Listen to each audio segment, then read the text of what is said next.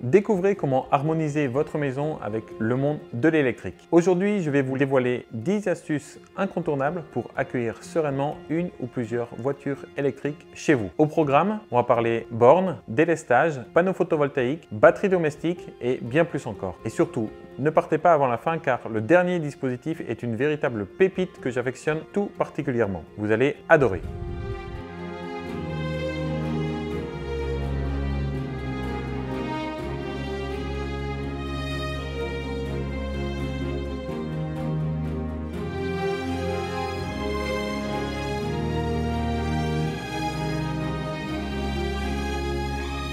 Salut, c'est Thibault. Si vous découvrez la chaîne, sachez que vous êtes au bon endroit pour explorer et comprendre l'intérêt de la maison intelligente et éco-responsable pour votre confort, votre portefeuille et pour le bien-être de notre planète. L'électricité joue un rôle de plus en plus prépondérant dans nos foyers. Pourquoi cette évolution? Car les tendances actuelles encouragent l'intégration de technologies telles que les pompes à chaleur pour le chauffage de la maison et donc bye bye le gaz, le fuel et le charbon, le chauffe-eau thermodynamique sera de plus en plus présent dans nos logements. Les plaques à induction ont déjà remplacé les gazinières et on possède de plus en plus d'équipements connectés et motorisés. Et n'oublions pas les piscines, les jacuzzis qui sont des sources de consommation importante d'électricité. Et j'ai gardé le meilleur pour la fin, la voiture électrique.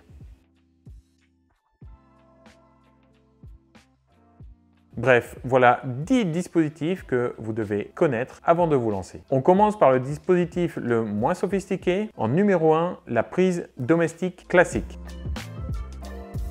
La prise domestique classique est la solution la plus simple et la plus économique. Vous avez une prise courante dans votre garage, votre installation électrique est aux normes, pas de problème. Notez qu'avec une simple prise, la puissance de recharge sera limitée à 2,3 kW. Il faudra compter 8 heures pour récupérer seulement 100 km d'autonomie. Je connais des personnes qui se contentent de recharger une Tesla grande autonomie avec une prise classique et ça fonctionne très bien. Alors oui, à première vue, 8 heures pour seulement 100 km d'autonomie peut sembler long, surtout aux promesses alléchantes des bornes rapides en ville. Mais posez-vous la question, préférez-vous recharger rapidement et payer un prix exorbitant au kilowatt ou prendre un peu plus de temps et réaliser d'importantes économies sur le long terme? La vitesse n'est pas toujours synonyme d'efficacité. La vitesse est utile quand on roule plus de 350 km par jour. Donc, si vous avez la possibilité de recharger à domicile et vous roulez moins de 350 km par jour, la voiture électrique devient une évidence. Pour votre porte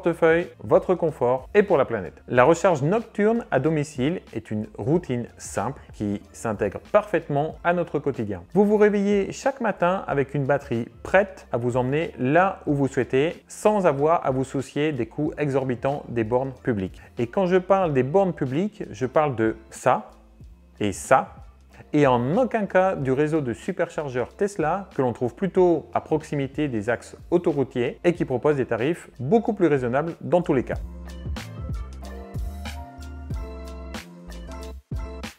Numéro 2, la prise renforcée. La prise classique, c'est bien, mais heureusement, il y a des alternatives. Prenons par exemple la prise renforcée installée par un électricien dans votre garage ou sur la façade de votre maison. Elle double presque la puissance à 3,7 kW, ce qui réduit le temps de recharge à environ 5 heures pour 100 km. C'est déjà mieux, mais cela reste insuffisant quand on a besoin de recharger 100% d'une batterie dans la nuit. C'est rare, mais quand cela arrive, c'est rageant. Là encore, ce mode de recharge qu'on convient à de nombreuses personnes. Notez que en plus du temps de recharge, la limite de ces deux premiers modes est aussi le confort de recharge. Vous devez prendre votre adaptateur dans votre coffre et le brancher sur la prise renforcée plus la voiture. Oui, l'adaptateur est conçu pour être mobile et universel. Je vous conseille de toujours l'avoir dans la voiture, ce qui implique de la brancher et de débrancher, enrouler et ranger l'adaptateur régulièrement. Le prix d'une prise renforcée est de 200 euros hors pause, mais ce tarif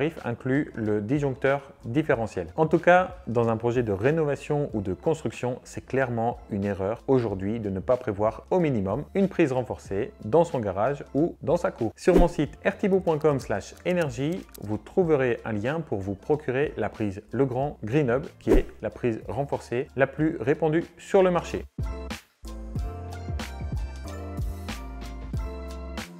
Numéro 3, la borne de recharge. C'est ce que j'ai chez moi, une borne de recharge standard. Il existe plein de modèles. J'ai une Tesla Wall Connector à 500 euros que j'ai acheté sur tesla.com et à ça, j'ai eu les frais d'installation par mon électricien incluant un câble de grosse section entre le tableau et l'emplacement de la borne plus le fameux disjoncteur différentiel. La borne est la vraie solution pour celles et ceux qui recherchent un peu plus la performance. Ma borne simple a une puissance maximale de 11 kW et j'ai besoin de moins de 1h45 pour récupérer 100 km d'autonomie. C'est très rapide finalement car en réalité on recharge tout le temps à 7 kW car on branche la voiture pour une recharge toute la nuit et très souvent quand on la branche il nous reste environ 50% de batterie donc en une nuit aucun problème pour recharger à 7 kW. Ma borne me convient parfaitement et je ne me vois pas changer dans les années à venir. Elle s'intègre bien dans mon écosystème. Ces trois dispositifs forment clairement l'essentiel des dispositifs de recharge de voitures électriques à domicile.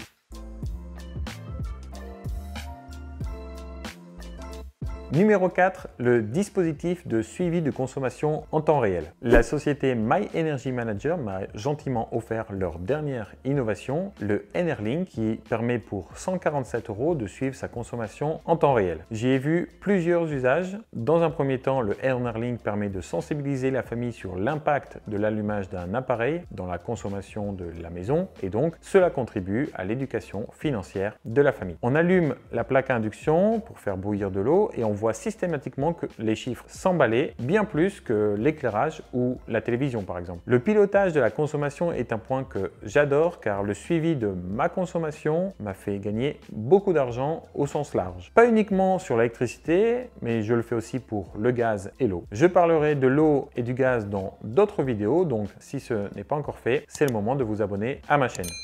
Je ne peux que vous encourager à piloter votre consommation et le NRLink s'adapte à tous les nouveaux compteurs Linky. Le NRLink est très simple à installer, il n'y a que deux éléments. Le premier est l'écran qui vous informe en temps réel de la consommation instantanée, quotidienne, hebdomadaire, mensuelle, etc. Le second élément est un capteur qui vient se brancher directement dans l'affiche de votre compteur Linky, donc bien entendu le NRLink est entièrement agréé par Enedis sur tout le réseau français. Données sont stockées sur votre compte NRLink en ligne et vous pouvez régulièrement vous éconnecter pour lire les graphiques et analyser vos chiffres. Je vous mets le lien vers l'offre Enerlink dans la description et sur rtibo.com slash énergie. L'électricité est de plus en plus présente. L'achat d'une voiture électrique va augmenter significativement la consommation électrique de la maison. Les tarifs d'énergie vont continuer d'augmenter et tout le monde veut renforcer sa démarche éco-responsable. Dans ce contexte, quelle est la suite? Réponse A, installer des panneaux photovoltaïques. Réponse B, des panneaux photovoltaïques. Réponse C, des panneaux. Réponse D, des panneaux photovoltaïques. Bref, au bout d'un moment, cela devient une évidence. Donc le dispositif numéro 5, les panneaux photovoltaïques plug and play.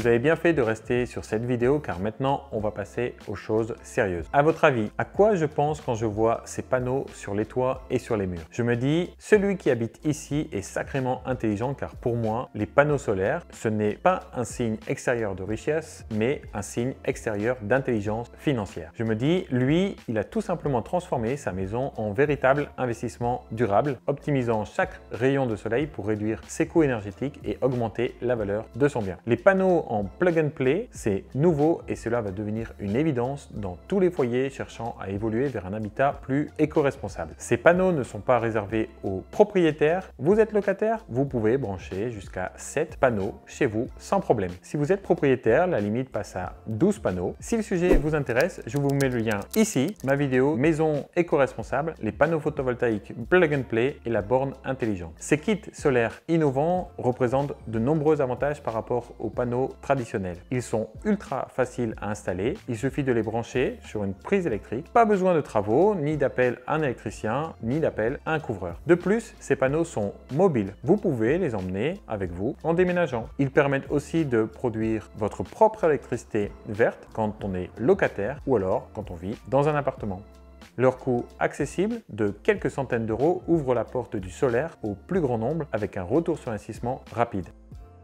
Bien sûr, la puissance reste limitée avec ce type de panneau innovant, mais il constitue une excellente porte d'entrée vers l'autoconsommation d'énergie solaire. Maintenant que vous êtes convaincu par les panneaux plug and play, il est important de calculer combien en installer chez vous. Tout commence par la mesure de votre talon de consommation. C'est la quantité minimum d'électricité utilisée en permanence dans votre logement, même la nuit ou lorsque vous êtes absent. En bref, la consommation des appareils en veille. Les panneaux photovoltaïques plug and play permettent de produire sa propre électricité verte pendant les heures d'ensoleillement. Ils sont d'autant plus intéressants quand votre talon de consommation est élevé. En effet, plus votre talon est important, plus vous consommez d'électricité solaire directement sans la stocker. Pour connaître précisément votre talon de consommation, le moyen le plus simple est d'utiliser le NRLink. Comme le NRLink mesure votre consommation en temps réel et enregistre tout, c'est très facile de relever votre talent de consommation puisque c'est une des valeurs mises en avant dans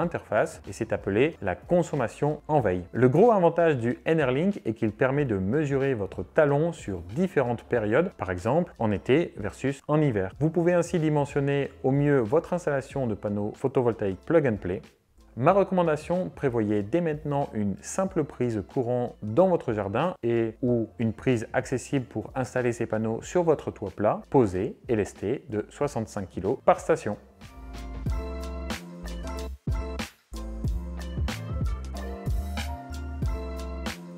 Notez que pour recharger une voiture électrique avec votre propre production, vous devez produire une puissance minimale de 1,4 kW, soit 6 ampères. C'est une norme, donc si l'ensoleillement du jour ne produit pas cette puissance, admettons 1 kW de production, votre voiture ira rechercher automatiquement 0,4 kW sur le réseau. 4 panneaux devraient suffire pour combler ce minima.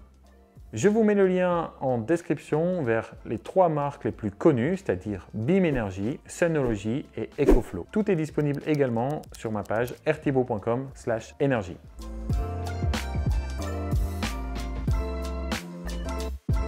Le dispositif numéro 6, les panneaux photovoltaïques standards. J'ai énormément de choses à dire sur ce sujet, mais dans cette vidéo, je vais me forcer à être synthétique. Si vous avez une ou plusieurs voitures électriques comme nous, vous avez de la place pour installer des panneaux sur votre toit ou dans le fond de votre jardin, les panneaux photovoltaïques deviennent une évidence. Nous sommes clairement dans l'application de la méthode RTIBO. Investir et amortir un bien sur 20 ans, en tout cas moins de 20 ans, pour réduire ses charges pendant plus de 40 ans. J'avoue, en France, il y a beaucoup d'obstacles à pour installer des panneaux photovoltaïques standards. D'ailleurs, si ce sont des sociétés françaises qui ont imaginé et créé les panneaux plug and play, à mon avis, c'est clairement en lien avec tous les obstacles qui existent en France. Je l'ai dit, les panneaux plug and play, c'est zéro obstacle. Tout mon savoir sur les panneaux photovoltaïques est dans mon livre, mais n'hésitez pas à lister vos questions dès maintenant en commentaire.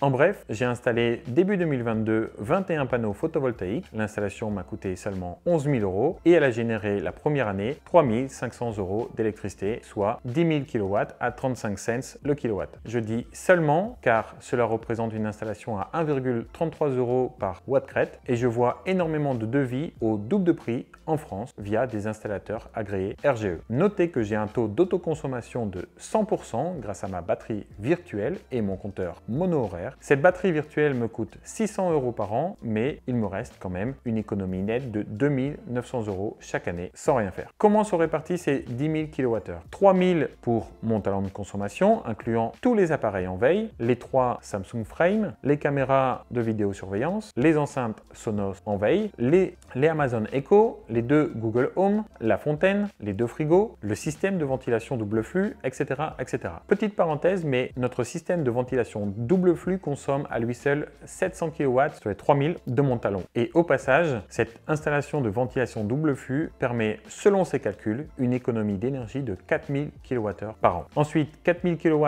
pour la vie dans la maison et 3000 kW qu'on injecte directement dans les voitures. Cela représente environ 20 000 km par an. Après l'amortissement de mes panneaux, ma batterie virtuelle va me coûter 50 euros par mois. Je l'ai dit, 600 euros par an. Et mes panneaux produiront en moyenne chaque mois, après déduction des frais de batterie virtuelle, 240 euros d'électricité mensuelle. Sur 17 ans, c'est 45 000 euros d'économie nette dans ma poche. Donc, comme 100% des personnes qui ont installé des panneaux photovoltaïques, je regrette juste une chose, de ne pas en avoir installé plus. Voilà, c'est une erreur de plus que je vous partage.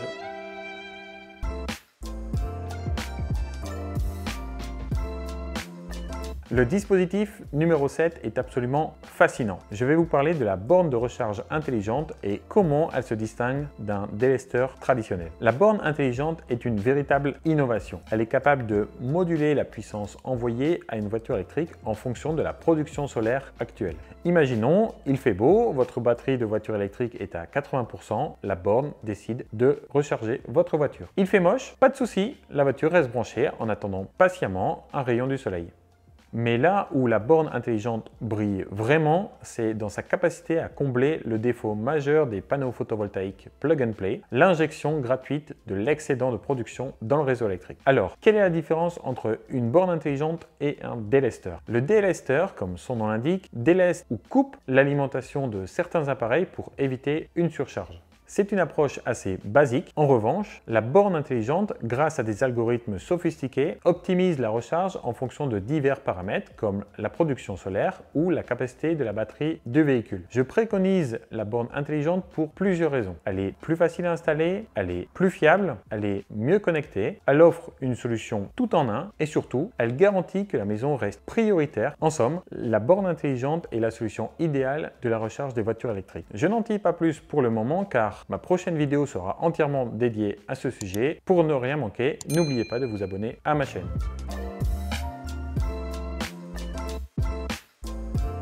Le dispositif numéro 8 que vous devez connaître, la batterie virtuelle. Il ne faut pas voir une batterie virtuelle comme une batterie traditionnelle et comme son nom l'indique, ce n'est pas un objet physique. C'est un concept qui permet de stocker l'électricité sous forme de crédit énergétique sur le réseau électrique. Lorsque vous produisez plus d'électricité que vous n'en consommez, par exemple avec des panneaux solaires, l'excédent est renvoyé sur le réseau. En échange, vous recevez des crédits énergétiques. En ce qui me concerne, moi j'ai mon compteur qui tourne à l'envers. Et lorsque vous avez besoin d'électricité, vous utilisez ces crédits comme si vous retirez de l'électricité de votre batterie virtuelle. En deux mots, je produis en ce moment 7 kW et il est 14 heures et je n'en consomme que 3. L'excédent de 4 kW part sur le réseau pour être mis à disposition de mes voisins les plus proches. En électricité, c'est comme ça. Par contre, ce soir à 20h, quand je vais brancher à nouveau ma voiture, s'il fait déjà nuit et que je ne produis plus rien avec les panneaux, la consommation de la maison va passer à 8 kW que je vais récupérer sur le réseau. Je donne 4 crédits en journée et je reprends 4 le soir, donc ça ne me coûte rien. Le coût d'une batterie virtuelle dépend principalement de votre fournisseur d'électricité et des tarifs qu'il propose. Honnêtement, je ne vais pas me lancer ici dans plus d'explications car cela varie beaucoup d'un contrat à l'autre. Assurez-vous d'avoir un pour un, c'est-à-dire un crédit vers le réseau et un crédit en retour. Dans de nombreux cas, cela peut s'avérer économiquement avantageux. Certains fournisseurs peuvent imposer des limites sur la quantité électrique que vous pouvez stocker virtuellement. Les batteries virtuelles offrent une solution innovante pour maximiser l'utilisation de l'énergie produite, en particulier pour ceux qui utilisent des sources d'énergie renouvelables. Cependant, comme tout système, il est essentiel de bien se renseigner avant de prendre une décision. Mon conseil assurez-vous d'avoir un compteur simple horaire comme moi, car dans le cadre d'un compteur bi-horaire, vous disposez de deux batteries virtuelles et là, c'est le début de la fin.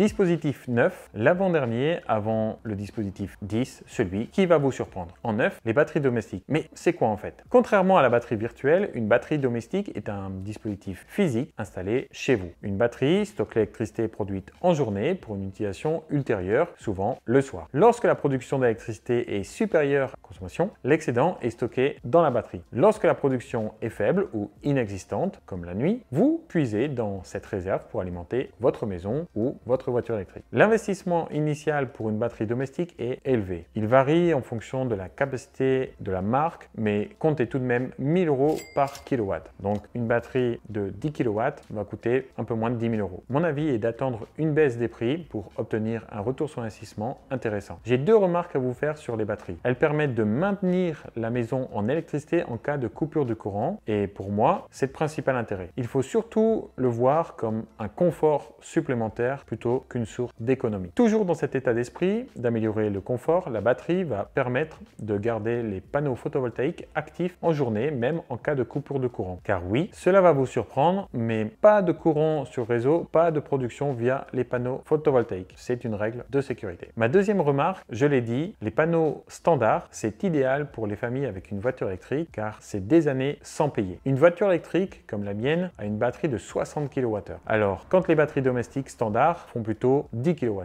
Je ne me vois pas investir dans 4 batteries de 10 kWh qui vont me coûter entre 7 et 10 000 euros chacune pour recharger ma voiture le soir avec ma production de la journée. Certains le font, mais vraiment, ils sont rares. J'ai encore plein de choses à dire sur ce sujet, mais je garde cela pour d'autres vidéos et pour le dispositif numéro 10.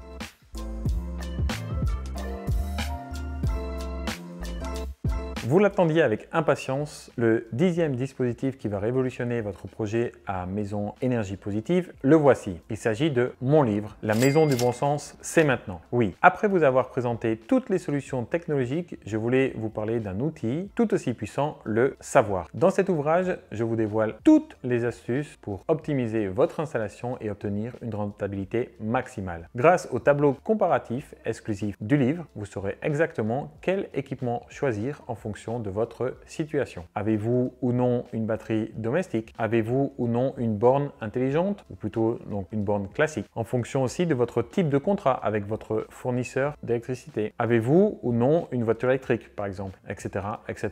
En appliquant mes conseils, vous pouvez facilement tripler le retour sur investissement de votre projet. Alors que la moyenne se contente de résultats médiocres, vous saurez prendre les bonnes décisions sur le sujet photovoltaïque, mais pas que, sur l'entièreté de votre projet immobilier et donc de votre patrimoine. Et le meilleur dans tout ça, je vous offre 5 pages d'extra gratuits du livre. Ils sont disponibles dès maintenant sur rtibo.com slash la méthode. Alors ne ratez pas cette chance d'enfin comprendre comment rentabiliser votre maison et produire votre énergie à moindre coût. Rendez-vous vite sur le site et téléchargez votre cadeau. Restez connecté à ma chaîne. À très vite.